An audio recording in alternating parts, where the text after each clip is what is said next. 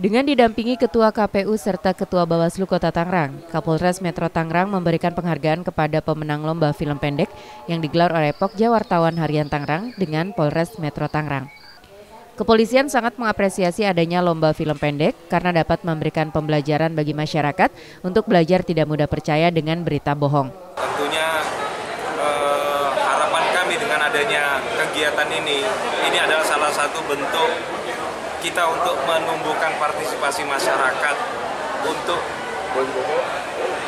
bisa sama-sama menjaga dan mendukung penyelenggaraan pemilu di wilayah Kota Tangerang ini secara damai dan kondusif. Kalau buat film sendiri sih harapannya sering-sering diadain film-film pendek di Kota Tangerang khususnya bukan cuma pas mau pemilu atau apa pun itu.